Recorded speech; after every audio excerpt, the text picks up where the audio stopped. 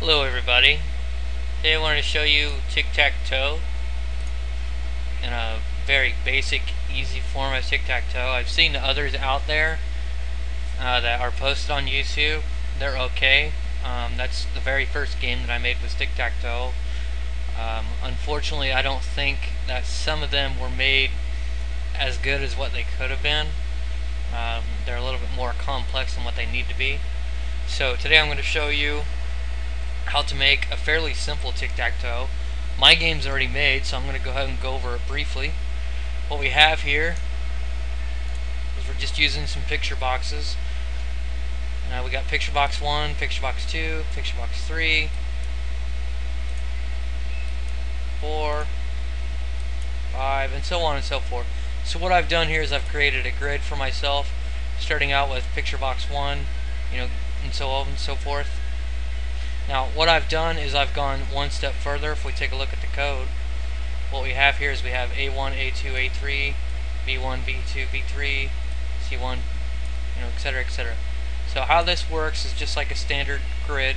A1, A2, A3, B1, B2, B3, C1, C2, C3. Alright, so pretty simple there on why these are here. So next thing we probably want to look at is turn.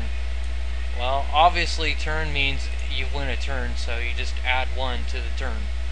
In fact, I'll go ahead and show you. Here's my code. This code pretty much just repeats itself, so I'll go over it real quickly with you. Now, as I was saying, turn, right here is my turn. When we click on this box, it's plus one to turn. So turn right now is equal to, to 1. So it just adds 1 to that every time we click.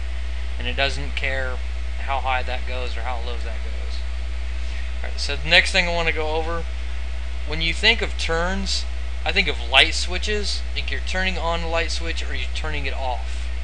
Alright, so what we have here, I'll go ahead and close this and we'll come back to it real quick in just a second, is we have this right here. This is very simple. If turn 1 is true, which is player 1, then it's your turn. If it's turn 2, it's your turn. It's pretty simple. I mean, it's either the light switch is on or it's off. You're either on turn X or you're on turn O. It Doesn't really matter. The computer doesn't know and it doesn't care. It just says, you know, it's either turned on or turned off. It's pretty basic.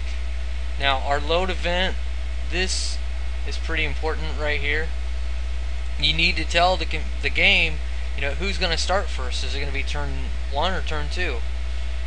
Obviously, X usually goes first traditionally, as far as I'm concerned. So, in mine, turn one goes first, which is X. So let's go back to our click event. This is basically where everything's going to go on uh, when you start out with your code. So what you're going to do here is you're going to do your your turn check basically. You're going to say, hey, if it was turn 1,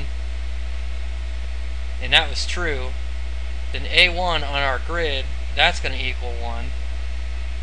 We're going to change our box to X, and turn 1 is false now. It's no longer player 1. Now it's going to be turn player 2's turn, and we need to go back to up to player turn, so it says, okay, so player 2, it's your turn. Okay, well that means it's X. Okay, now that it's, or I'm sorry, now it's O's turn. Now the X's turn is over. So now it's going to skip down here. It's going to say, okay, now what we're going to do here is going to say, okay, we're going to disable this button so you can't click on it anymore. We're going to add plus one to the turn. Well, the turn counter, we should say and then we're going to check for a win. We're going to check and see if anybody won. Alright, so if, since nobody won in this case, we're going to move on. We're going to say, let's say that it's uh, O's turn now. Let's say that O clicked on picture box 2. Alright, so it's gonna our grid's gonna equal B1 is gonna equal 2 because somebody clicked there and that and we're gonna say picture box we're gonna have to give it to picture box O now we're going to say your turn is over, and now it's X's turn. Go up to player turn, you know, to find out exactly whose turn it is, we know whose turn it is. It's going to be X. So, then we're going to disable this box so you can't click on it anymore. We're going to add one to the turn and we're going to check for the win factor. This is pretty much, you'll repeat this process, it's pretty much the same code you'll use for all nine boxes, it's not going to change. Tic-tac-toe, it's think of it as light switch once again, you know, it's the light switch is up or it's down. It's just that simple. Now, where it becomes a really annoyingly painful is in the win. Now, I tried to make this as condensed as possible. I have seen people who had algorithms on how to do it. This is pretty much the way I'm doing it. I'm doing it with um, a series of if statements. So what this does right here is if A1 in our grid and A2 and A3 are all X, then X wins. Or if B1, B2, and B3 are all X, then X wins. You know, and so on and so forth. You just repeat that whole entire process.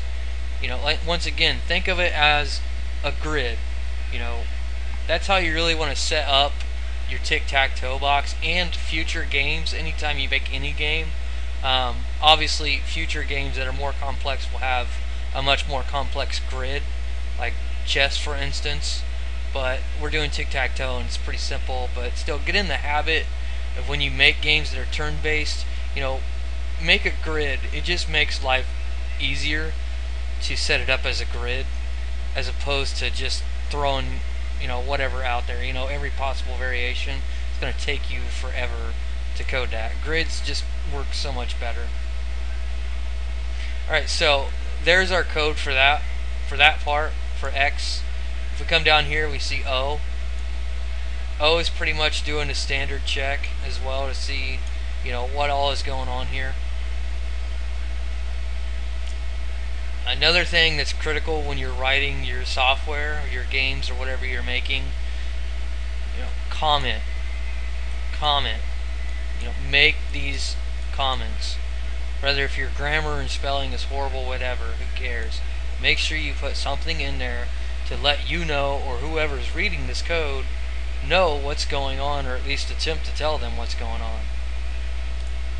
Alright, so what's happening here is if if these if any of these are true, you know, the message box is going to pop up and it's going to say O wins or X wins.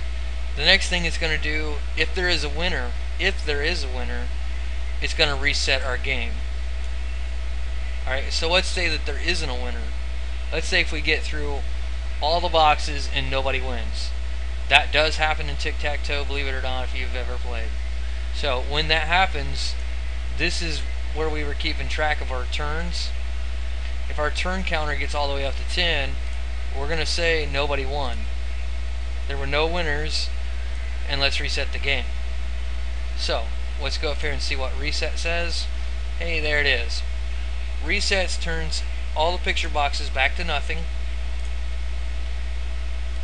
It tells you that picture boxes 1 through 9 are re-enabled, that now you can click on them again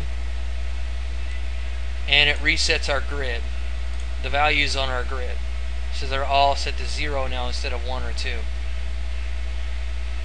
that's pretty much how tic-tac-toe works um, as far as I'm concerned at least it's pretty basic